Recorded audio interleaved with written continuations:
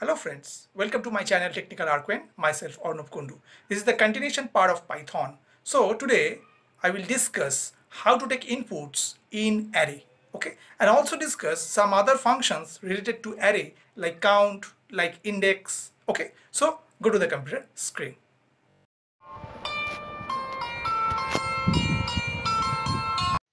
Today's topic, user input in array, okay? So at first we should know how to take input in array okay? So go for an example. Suppose write from array import asterisk okay? And after suppose write a equal and just write array. And after we are put the data type it is a signed integer and just square bracket open and close means we create a blank array okay. And after we write here n equal and write int and then write input. And then suppose we write here enter the length of the array. Okay. Means here we take the inputs that how many element should present within that array. That's why the length of the array. Okay and then we'll use the for loop for i in and take a range and put the value as n because we don't know how many elements are there. So the length of the array should store within the variable n and that's why the range value is n okay? And then just write x equal int and then write input. And then just write here enter the element for an array. Okay? Put a colon close this double quote close this parenthesis and again close this parenthesis. Okay? And after just write a dot append means here we are using the append function a dot append to insert the element within that array. Okay and after we write for i in range means we want to print the each and every element which is provided within that array okay? And just write print and just write a and within square bracket i okay? And now put comma and then just write end equal and put a space okay and now save that file. Just go to the file. Just go to the e drive and choose python example. Put a name example30.py and just go to the command prompt and write python example30.py and press enter. We should provide some input. That's why given enter the length of the array. So here what happened? The python script ask for entering the length of the array. So that's why given enter the length of the array. Suppose we put here 5 means we want 5 elements here. So press enter. So now also ask for entering values in array. So enter the elements for an array. Suppose provide 10, press enter, 20, 30, 40 and 50 and press enter. So what happens after that this for loop prints all the elements whatever we are provide as input 10, 20, 30, 40, 50. Okay. In that way, we can take input within an array.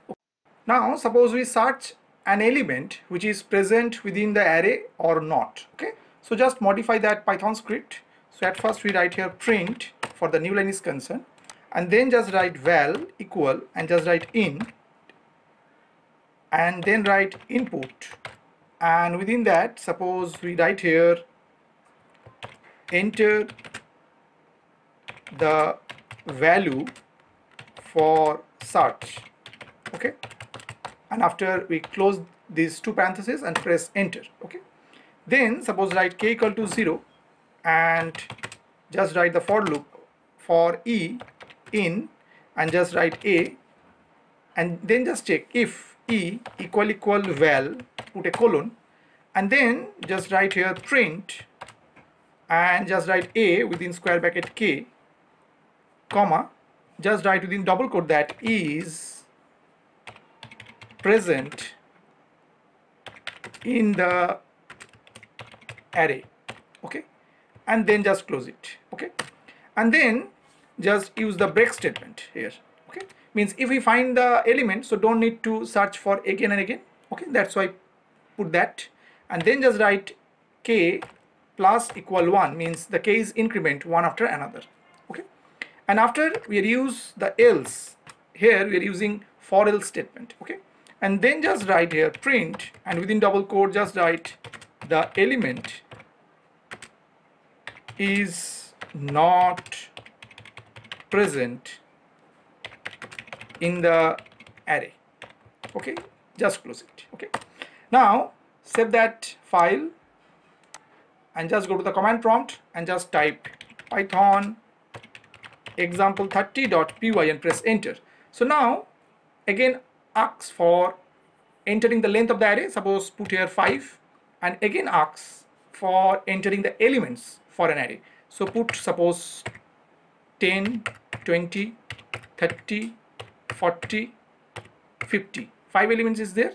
So at first it's just print means this for loop just print all the elements whatever we are provide as input within that array. And now again asks for put a value for search. So enter the value for search. Suppose we are provide here 30 and press enter. So 30 is present in the array. Yes 30 is present in there. So if we again execute this python script. So again asks for the length. So provide suppose 4 and again asks for the elements for the array. Suppose provide 12 24 60 and 74 and press enter so whatever the value we are provide as input within the array just print. Now again asks for the value for searching. So suppose we have provide such value which is not present. Suppose we provide 90 which is not within that array element. So then press enter. So what the output? The element is not present in the array okay. Now we talk about the other two functions. Suppose it is count and another is index. Okay. So how it works just go for an example. Suppose right here from array import asterisk. Okay. And after suppose write v equal array and then just provide the data type. Means it's a signed integer that's why small i is there and provide some value. 10 20 again provide 10 and suppose provide 30 and suppose 50 okay? So total five elements is there and close this parenthesis. And now suppose we write here print and just write v dot count okay? And suppose we provide here 10 actually what happened? This count function returns the number of times the element 10 appears in the array okay? And again we use another function suppose write print and then suppose write v dot index. And here just provide also 10 okay? And this index function returns the index of the first occurrence of the element 10 in the array okay? Now set that file. Suppose we put a name example32.py and press enter. And just execute this python script. Example32.py and press enter. So what happened? The 10 element is appear in that array two times. So that's why this count provide as output 2 okay? But the index when we provide the argument 10 so this element appears at first in the index 0 should remember the 10 is also appear in the index 2 but what happened? The index function returns the index of the first occurrence. So the first occurrence of 10 is the index 0 that's why it returns 0 okay. Now for the another example. Suppose we create a new array from the existing one. Okay. So we are just change here. Suppose we take some other values as the array element means we take array elements as different values suppose 2 4 6 7 and 9 okay? Val equal and suppose we write here again array and now what happened we create a new array. So at first we need to provide the data type. Here we write here v dot type code which provide the data types okay? And suppose here we write b asterisk b. Actually we store the new array element as the square of the elements of the existing one okay? So that's why we provide b asterisk b. And then use a for loop for just use b in v okay?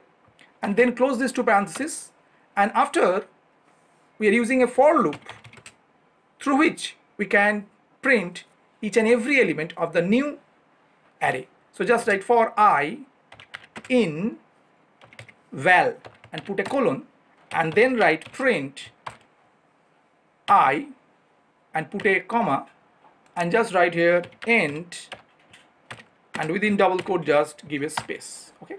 And just save that file and just execute this python script write python example 32.py and press enter. So what happened? Whatever the existing array is concerned the elements are 2 4 6 7 9 but the new array the values are just square of that element. So just it provides 4 16 36 49 81 means the square of the element just provide as an element of the new array. Okay? I hope that you have understood today's topic. For more videos keep watching my channel technical ArCoAn thank you and bye bye